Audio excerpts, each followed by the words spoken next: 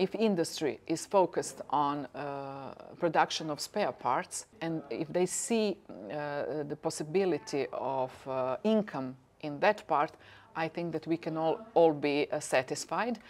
because industry will have their interest, of course consumers will have their interest and the environment is going to be improved.